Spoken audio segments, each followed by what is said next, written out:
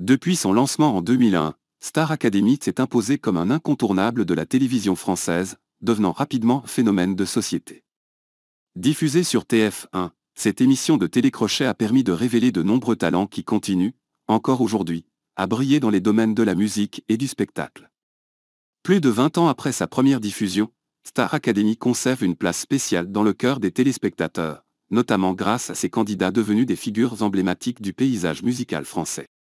Parmi les lauréats qui ont marqué les esprits, on retrouve des artistes comme Jennifer, la gagnante de la première édition, ainsi que Nogwen Leroy, Élodie Frégé et Grégory Lemarchal.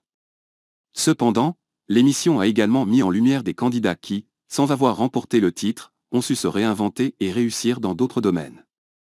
C'est le cas de Fabien Ancel, ancien candidat de la deuxième saison. S'il n'a pas poursuivi une carrière dans la chanson, il s'est trouvé une voie prometteuse dans la réalisation, où il connaît aujourd'hui un franc succès. Oussine félicite Fabien Ancel pour son mariage. Fabien Ancel, très actif sur Instagram, partage régulièrement des moments de sa vie professionnelle et personnelle, gardant ainsi le contact avec ses anciens camarades de la Star Academy.